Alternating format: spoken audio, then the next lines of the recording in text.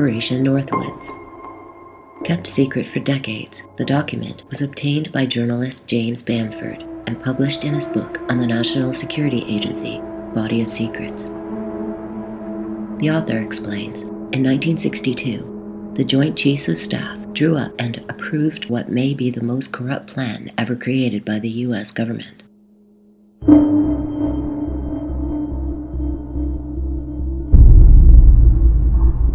Name of anti communism, they proposed launching a secret and bloody war of terrorism against their own country. In order to trick the American public into supporting an ill conceived war they intended to launch against Cuba.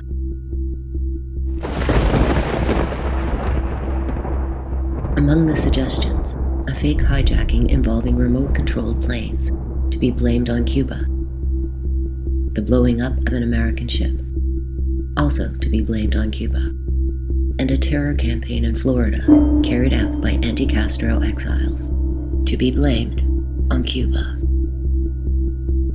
The most remarkable fact about Northwoods itself was that it was approved by every single member of the Joint Chiefs of Staff, the highest ranking military officers in the land. Only when it reached the desks of Defense Secretary Robert McNamara and President Kennedy was the plan nixed.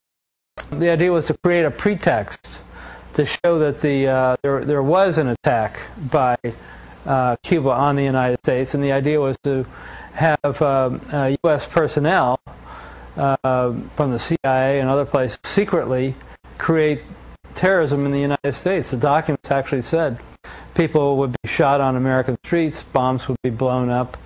Um, and again, all this, the evidence would be uh, laid to point the finger at Castro.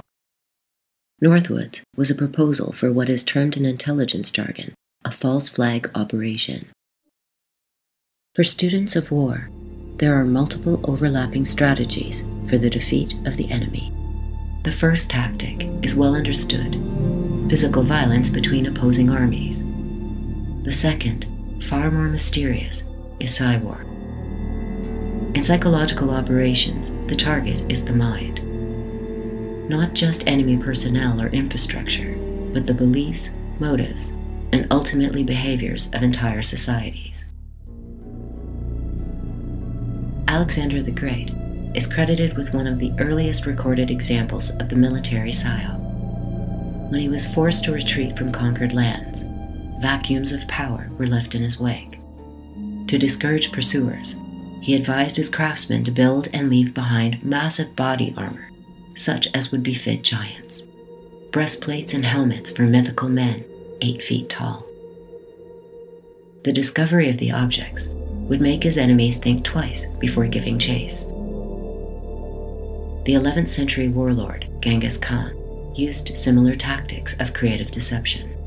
Prior to military campaigns, agents of influence disguised as villagers from an already conquered region would be dispatched into enemy territory to warn the people of the horrors awaiting them. To further intimidate opponents, Khan devised a trick of light As darkness fell over his encampments, he ordered his men to light five campfires, where only one was necessary. Observing the spectacle, one scout reported back that Khan's army had more fires than there are stars in the sky.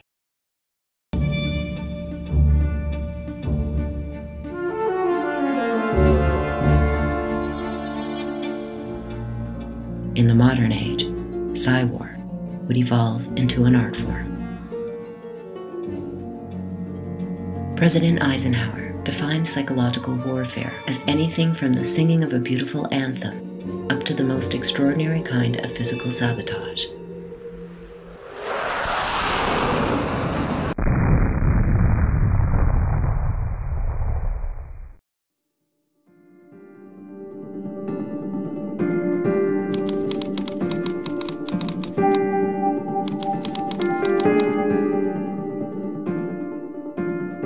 Black propaganda, well, let's start with the white propaganda. White propaganda is um, propaganda, persuasion, news, media operations of one sort or another that are openly acknowledged by their sponsor, which in this particular case is the US government. So the Voice of America, for example, is white propaganda. Black propaganda, on the other hand, is disavowed by the agency that's sponsoring it uh, it uh, operates on the basis of plausible deniability, so that if something goes sour or the the true goals, the true nature of the propaganda is revealed, then the actual sponsor can say, no, that's we didn't do that. We didn't have anything to do with that.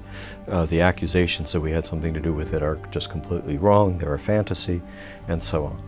Uh, so black propaganda involves both media operations on the one hand, persuasion, publicity, but typically it will be media that poses as opposed to the sponsor in order to discredit the side that's being attacked. Let me, let me give you an example of how that works. Suppose you're in the middle of the Cold War. There's a radio battle, and this is, this is very this, this is actually a rather benign form, comparatively, of black propaganda. There's a radio battle between East and West. And one side or the other creates a radio station that poses as being the other side's voice, and then says outlandish, stupid, provably false, um, or uh, very hostile things about the first side. Okay? Well, then the first side can use that as its own propaganda by saying, see, this is, this is the people that we're dealing with. They're completely nuts, or they're completely corrupt, or they have no integrity, or a whole range of other types of accusations. The false flag operation takes the concept of black propaganda to a murderous extreme. Secret agents carry out an act of terrorism or other outrage, which is then blamed on the enemy of choice. Oftentimes, false flags are perpetrated by what Lawrence Cline of the U.S. Army War College called a pseudo team individuals who are organized to impersonate enemy forces. Citing examples from the Huk insurrection in the Philippines, the Mau Mau in Kenya, the French in Indochina, and other conflicts, Cline stresses their utility in intelligence gathering. But there are other, more important uses. In 1951, the democratically elected leader of Iran, Mohammad Mossadegh, was overthrown by the CIA and replaced by the fascist Shah. The man in charge of organizing the coup, Kermit Roosevelt, explicitly referred in his memoirs to the use of false flag operations. In the year 2000, New York Times reporter James Risen obtained a previously secret account of the coup written by CIA agent Donald Wilber. Risen explains In early August, the CIA, seeking to stir up anti communist sentiment in the religious community, stepped up the pressure. Iranian operatives pretending to be communists threatened Muslim leaders with savage punishment if they opposed Mossadegh. In addition, the house of at least one prominent cleric was bombed by CIA agents posing as communists.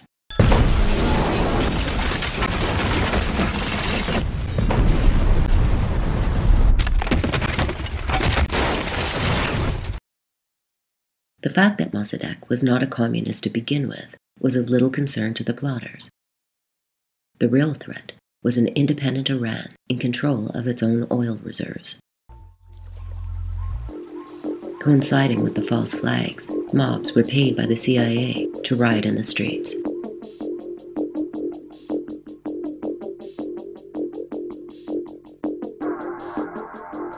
In his book, CIA Diary, CIA whistleblower Philip Agee indicates that the tactics used during the coup in Iran became a matter of routine. In some cases, a timely bombing by a station agent, followed by mass demonstrations, and finally, by intervention by military leaders in the name of the restoration of order and national unity is a useful course.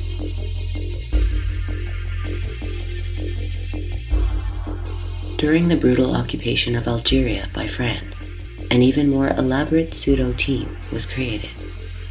In the mid 1950s, the Direction de la Surveillance de Territoire formed a group known as the Organization of the French Algerian Resistance, or ORAF, Posing as members of the anti-colonial resistance, ORAF committed false flag bombings, targeting civilians with the aim of quashing any hopes of political compromise.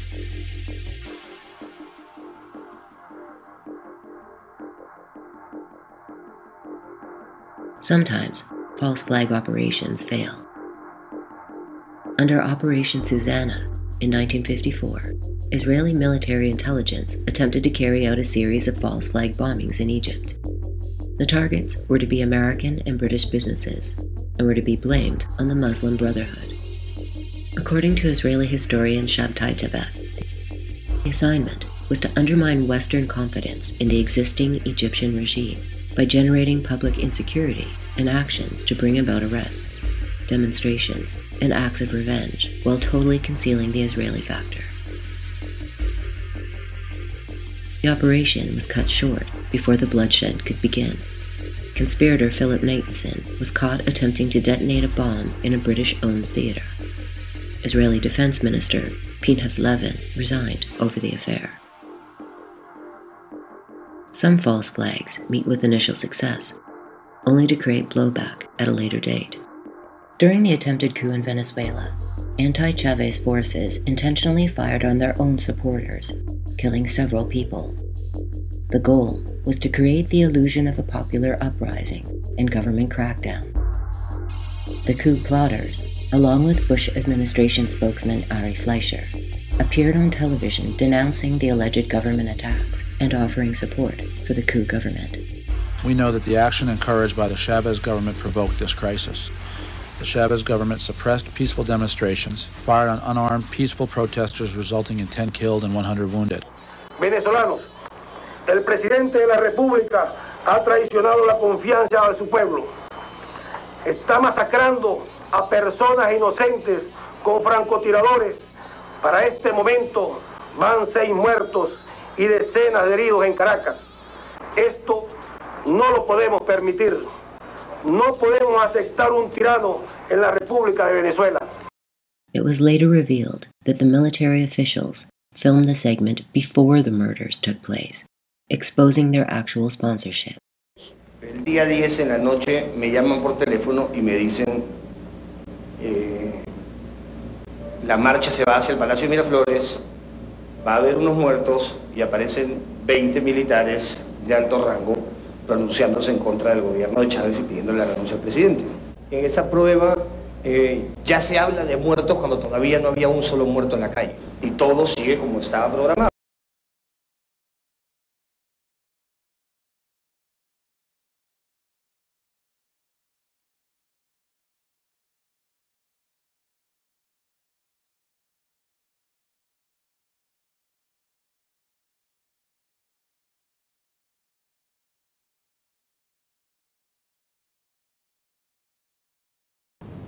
Gladio, così come è stata definita, individuata, descritta oggi, è una componente di quelle che ho sempre chiamato strutture parallele.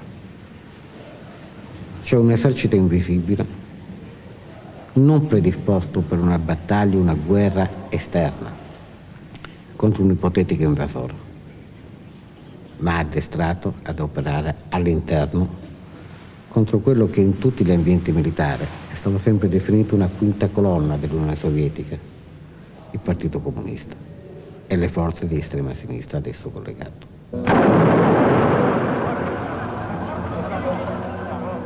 For 40 years, secret terrorist organizations, many trained by Western intelligence agencies, have manipulated the political control of European sovereign states by a campaign of terror and murder. Originally part of a secret network, these groups changed from being defenders of state security into attackers of the established political order. Until two years ago, that secret network was generally known by the single word, Gladio.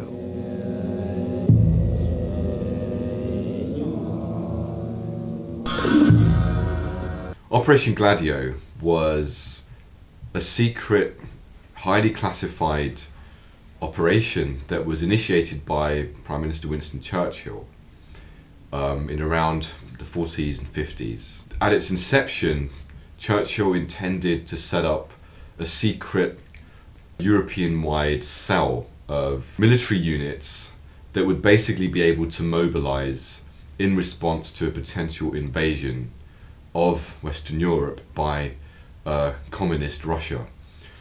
Now, these cells were actually set up with the uh, support of the United States. NATO was the main vehicle. It was done secretly across most, uh, many Western European countries. And over time, it evolved into a highly kind of disturbing form of covert action. And Operation Gladio was um, actually a specific operation as part of this overall process, which was taking place in Italy. What we can say for certain is that within about 10 years, this phenomenon that we saw in Operation Gladio became much more than what Churchill had originally described it was intended to be.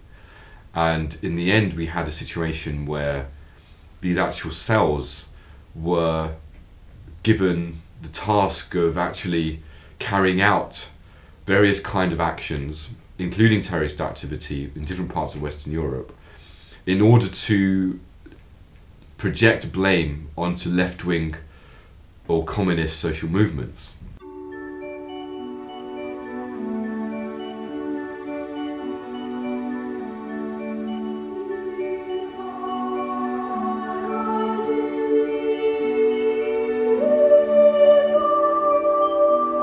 The stay behind networks had been set up to repel a Soviet invasion. Yet the invasion never came. In 1968, a brief for the British Chiefs of Staff noted that the Soviet Union will not deliberately start general war or even limited war in Europe, and that Soviet foreign policy has been cautious and realistic. Nevertheless, the myth of Soviet expansionism remained an important component of Cold War propaganda. What we are watching is a four-phased operation. Phase one has been completed, the seizure of Nicaragua. Next is El Salvador, to be followed by Honduras and Guatemala. It's clear and explicit. there is document. a Caribbean domino of course. theory that's unfolding. Well, I wouldn't call it necessarily a domino theory. I would call it a, a, a priority target list, a hit list, if you will uh, for the ultimate takeover of Central America.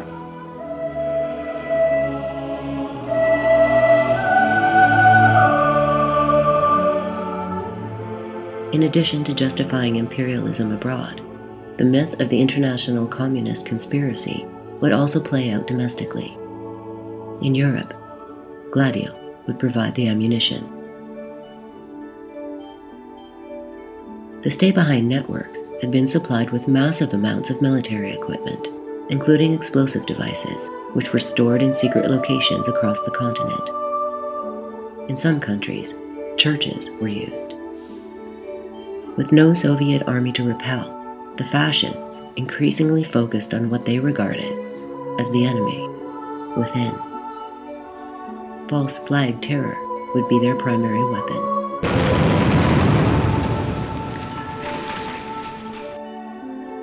Operation Gladio and related programs in other European nations were kept secret for decades, but eventually revealed in a series of judicial and congressional investigations in the early 1990s. In Italy, the program was closely linked to a Masonic league known as P2, or Propaganda Due. It was made up of military and intelligence officers, political leaders, industrialists, mafioso, bankers, and even Vatican contacts.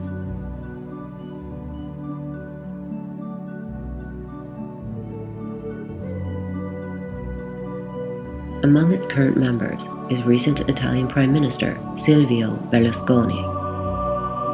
During his tenure as Prime Minister, Berlusconi openly expressed admiration for Mussolini and the philosophy of fascism. During the initial stages of Gladio, P2 was chaired by another avowed fascist, Licio Gelli.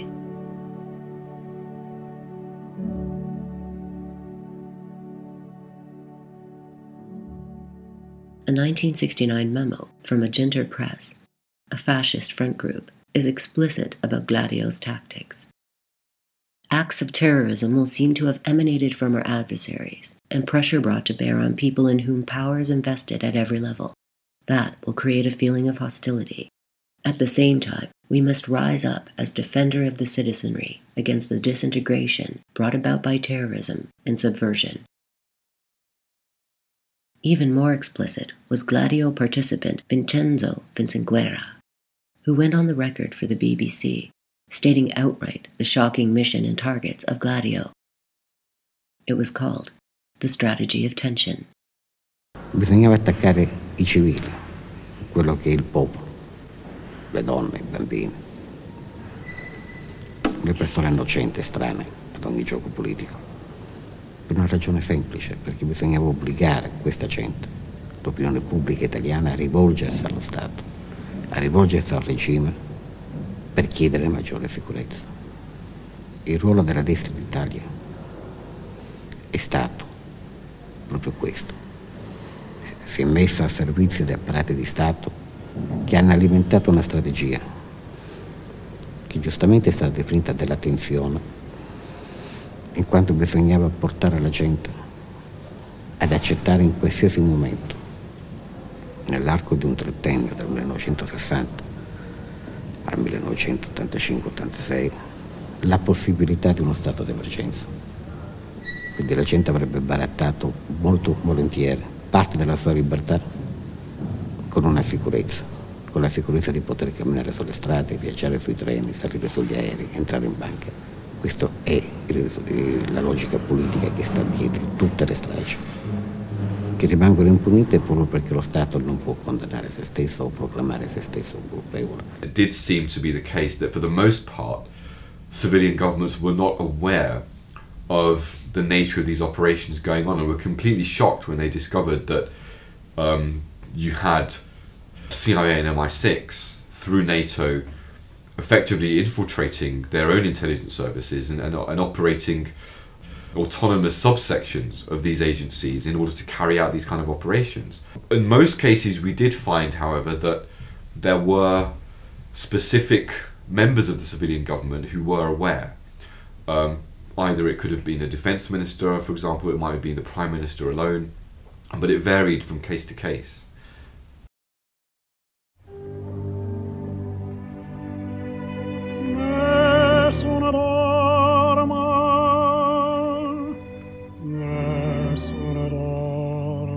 one of the first major bombings in Italy, occurred on December 12, 1969, at the Banca Nazionale dell'Agricoltura. 16 people were killed and another 88 wounded when fascists detonated an explosive device. An anarchist named Giuseppe Pinelli was blamed. He took the fall for the bombing, literally when police threw him out of the window of a local precinct.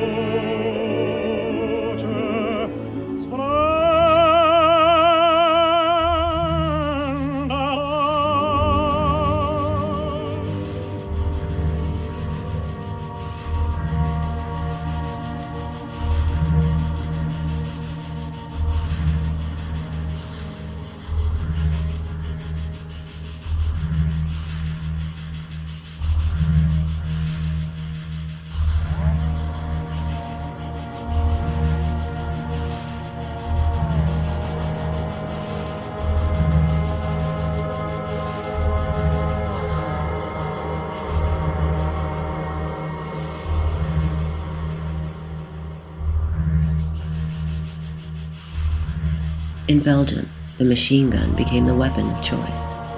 In the mid 1980s, masked terrorists began strolling into supermarkets and opening fire on men, women, and children. En hij ziet er draai, gemaskerde man uit de dingen er van achter komen. En hij zegt tegen zijn, zijn klein, laat u vallen, hij, want ze zijn daar. En daarmee is hij willen, willen vluchten. Hè. En hebben ze direct op hem geschoten. Hè. Uh, zeven of acht kogels door, door zijn auto. En uh, hier is schampschot, juist in zijn schetel en hier achter zijn oor. Ik heb één vrouw zien komen af, komen gelopen, volledig in haar gezicht bebloed en haar benen en al. En die is dan overgelopen in paniek van haar kind, iets van een kind. Wat dat juist was, weet ik niet. Man.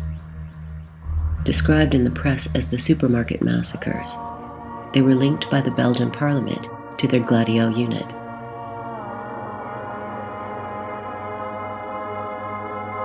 It was later suggested that one of the aims of the supermarket massacres was to encourage a right wing government that would be more amenable to accepting US proposals for stationing nuclear tipped missiles in Belgium. The dinner was ready and we were waiting for my daughter and my son in law and their two children. Saturday was our family day. All of a sudden, I heard shooting from the Delhaize supermarket. We ran out to the terrace and my wife screamed, My children. I said, Calm down, I will have a look at what happened. The doors to the supermarket were wide open and a crowd was pushing out. I wanted to go in, against the tide, but people were saying don't. People have been shot in there. Then they told me that my whole family had been shot.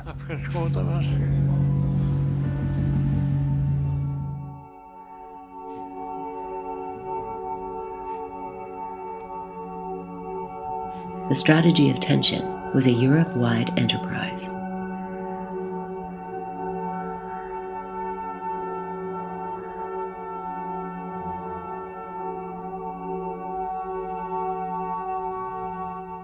Prima linea era eh, diretta a fare degli attentati per farli ricadere sulla sinistra, la seconda linea invece era di infiltrazione nei mh, mm, gruppi di sinistra e eh, per indurre anche questi gruppi estremistici della sinistra extraparlamentare a fare degli attentati e quindi a inserirsi in questa strategia che mirava a, ad acuire l'attenzione allora sociale e politica nel paese.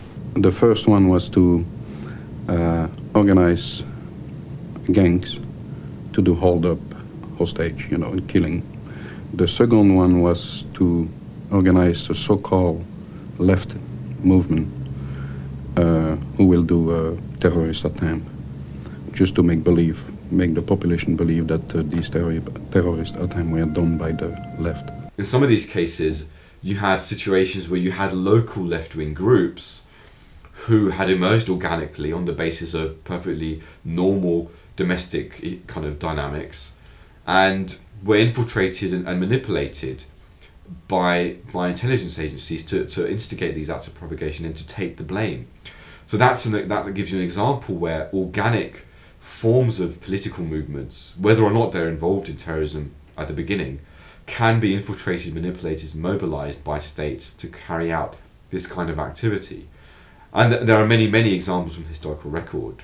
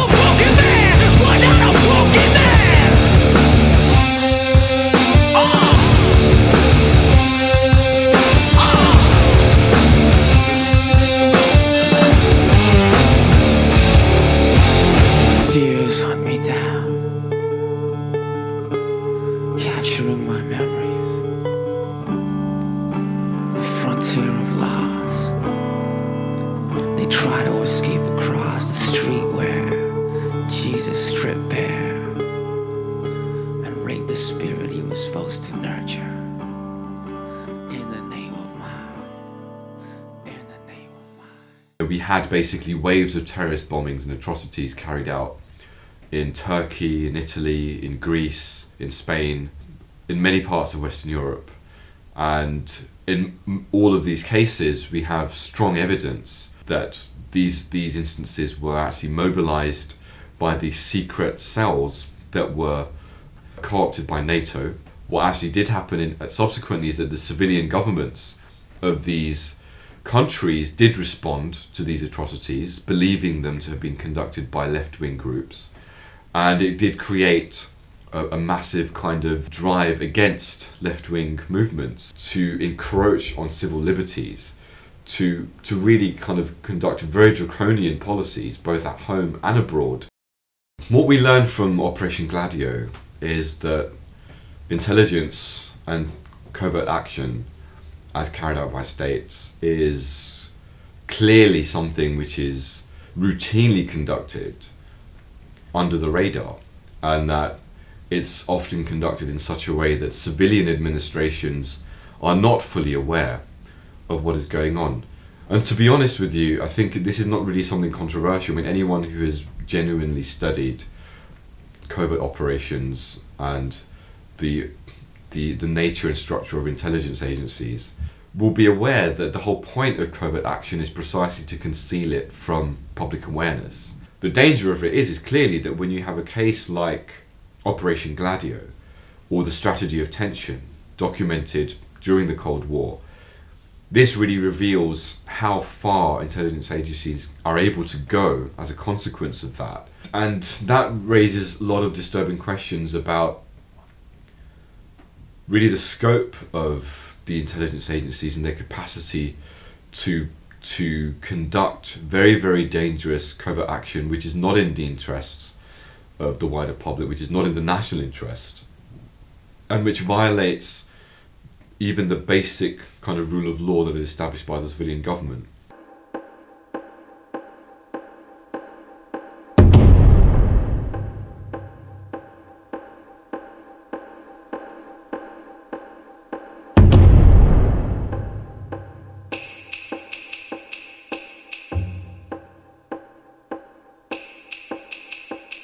False flag operations have not only been used to demonize dissidents and topple governments, they have also been used as sparks to ignite world wars.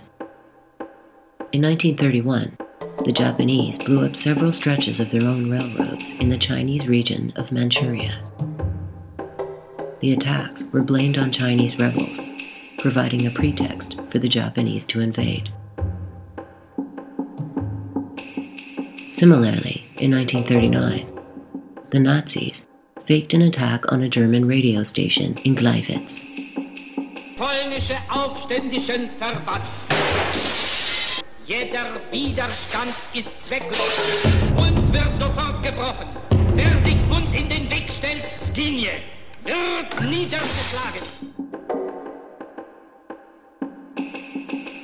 They took a concentration camp victim, dressed him in a Polish army uniform, then left his body at the crime scene in order to implicate the Polish government. In this case, the result was nothing less than World War II. False flags are not necessary to start wars, but they serve an important function. They allow the aggressor state to portray itself as the victim while rallying public opinion behind the war effort. In fact, they needn't even involve real physical events. The Gulf of Tonkin incident, in which it was alleged that North Vietnamese forces attacked an American naval vessel, was entirely fictitious. Shortly after noon, the calm of the day is broken at General Quarters sound.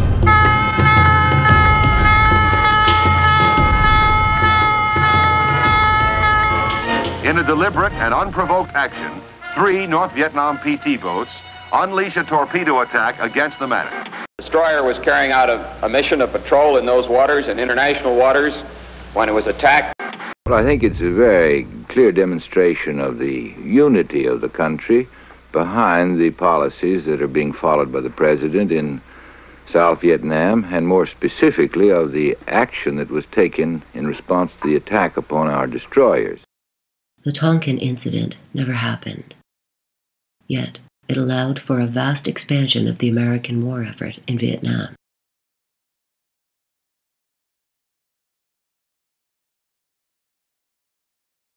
These uh, kinds of operations, uh, they're effective in the short run, particularly because all the information comes from the U.S. government, and uh, secondly, the media so submissive to relay whatever the government says happened rather than investigate in, in, in greater depth the circumstances surrounding these uh, false flag operations. So they're successful to the degree in which they monopolize the government and the, and the mass media conform to uh, the uh, message which has been sent out.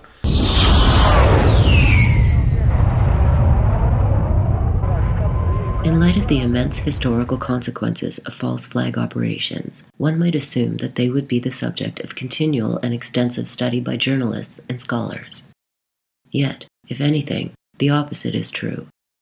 False flags remain one of the biggest taboos in journalism. In order to sidestep the issue and deep politics as a whole, many journalists and academics have created a workaround. They call it conspiracy theory. How much would you attribute the increase in conspiratorial thinking to that red line? There has been an explosion of conspiracy theories flying fast and furious over the internet. Those conspiracy people. A lot of the conspiracy theories. Of course, 9 11 conspiracy theory goes back to the Bush era. I'm Jesse Ventura, and this is Conspiracy Theory. Well, conspiracy mongering. Fringe conspiracy theorists. Conspiracy theory. Conspiracy theorists the people who foment conspiracy theories, crazy conspiracy theories, full blown American conspiracy theories. Conspiracy theories are a great American pastime. And not all of them are on the right, there's plenty on the left as well. Never told a soul about it. In fact, they engaged in a vast conspiracy. You get accused of being a conspiracy theorist, speculation, conspiracy theories. Let us never tolerate outrageous conspiracy theories. Painting this type of picture only feeds the delusions of those who wear tinfoil hats around their house. You know, there have always been crazy people who gravitate, if they have schizophrenia, who gravitate toward conspiracy theories. Those true believers in the mystic power of New Age crystals, spirit channeling, of people who talk to trees. Now, I don't consider myself a conspiracy buff at all, but when they get a lot of coincidences, I get a little suspicious. How does this term conspiracy theory get used, and what are what are the purposes that it's used for? Conspiracy theory is a little bit like the word uh, propaganda, and it's used specifically to discredit someone and to say, in effect, you're nuts. You're making it up, or you don't know the, you know, you don't have knowledge about this, or that you're irrational. That's that's the description of a conspiracy theory. So that is a very effective way uh, and frequently used in the mass media and by media commentators and reporters uh, as a means of discrediting points of view that they, they don't agree with. Conspiracy theory is a term that's used whenever anybody ascribes conscious intent to people with power. So I can say to you that school teachers are concerned about their salaries and they're organizing and they're threatening a strike and they're pressuring. I can say to you that farmers are doing this and looking for subsidies and, and, and facing certain policies.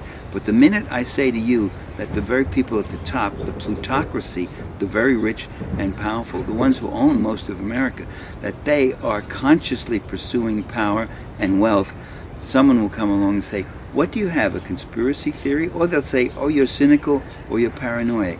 Their view is that stuff just happens, things just happen, unintended consequences, or our leaders are stupid and they're jerks, or they're confused and they don't know any better. And of course, the critic knows much better than everybody else. People who operate in this world operate with intent. Uh, there's no such thing as imperialism without imperialists. There's no such thing as capitalism without capitalists. There's no such thing as rulers who are somnambulists who walk around in their sleep. You watch out for your interests. You watch out and you make calculations. What makes you think that David Rockefeller doesn't? What makes you think that the, the people at the top don't do it? And what makes you think they don't collude and organize? Or what do you think you have a group of people who sit around in a room and they plan this. And I always say, oh no, God, they don't sit around in a room. They meet on carousels and they go up and down merry-go-rounds, or they meet skydiving and they hold hands and they argue. Of course, they sit in rooms. Where the hell else are they going to meet?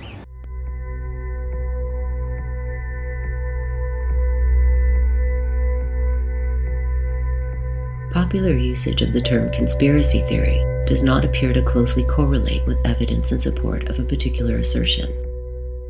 British Prime Minister Tony Blair dismissed the idea that the invasion of Iraq may have been motivated by oil as an absurd conspiracy theory. In fact, the most absurd conspiracy theories are often promoted by the most powerful individuals in society, including Tony Blair himself. His claim that Iraq had retained massive amounts of chemical and biological weapons and was plotting with Al Qaeda to attack the West had zero evidentiary support. The Third Reich promoted the conspiracy theory that Jews were responsible for most of the world's ills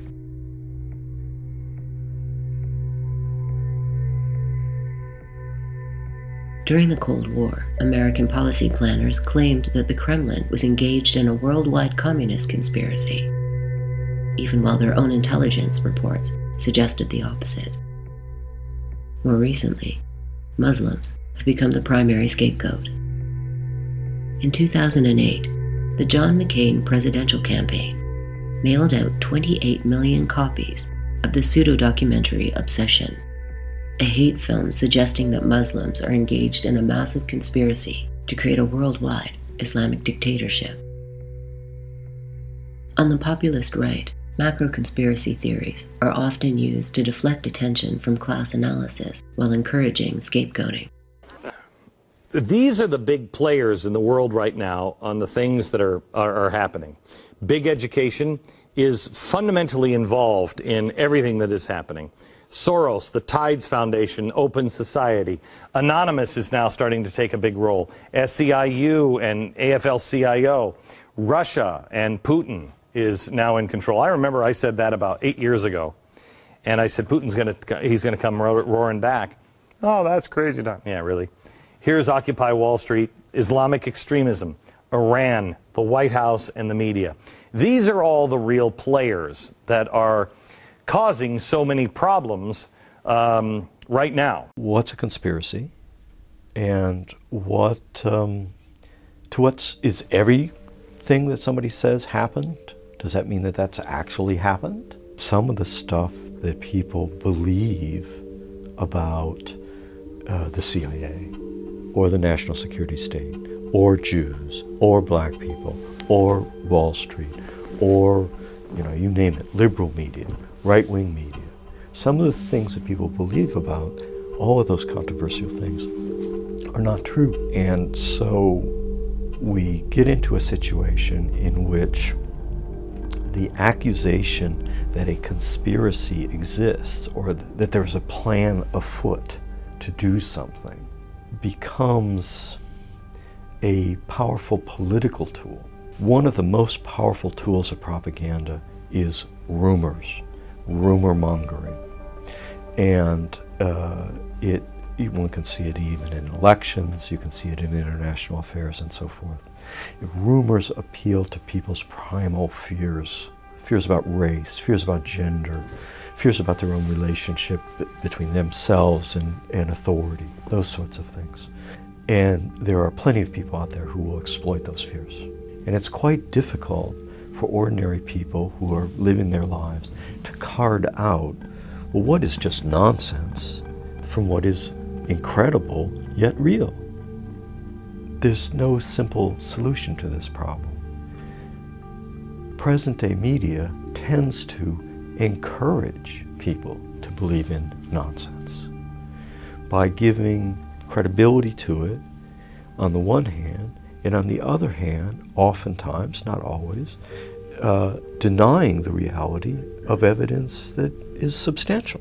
I think that the way to get at this, in, in a social sense, is to keep an open mind, investigate carefully, and not to believe in stuff that you don't understand. We as scholars, teachers, media people, just as ordinary citizens, should not propagate stuff that they don't understand or that they don't have factual support for.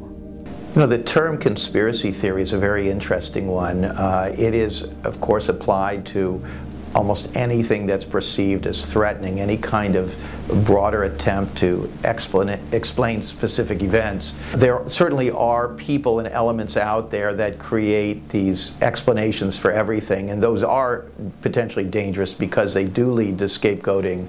Uh, on the other hand, there are actual people, actual covert operations, actual things happening that we don't know about, and it's very, very important to understand them. I mean, they are fundamentally conspiracies, which simply means uh, uh, uh, several people colluding in a secret and uh, illegal operation. Conspiracies are prosecuted every day in the courtrooms of this country, uh, and theory is what we use to try to understand things. So uh, I find the term conspiracy theory a broad brush pejorative, which I think is designed to suppress discussion. I do think we need to distinguish between those who see a bogeyman everywhere and those who do careful research and come to the conclusion in particular cases that there was some sort of an organized effort to do something, perhaps to remove a president uh, or to achieve some other change uh, of which the public uh, was never informed.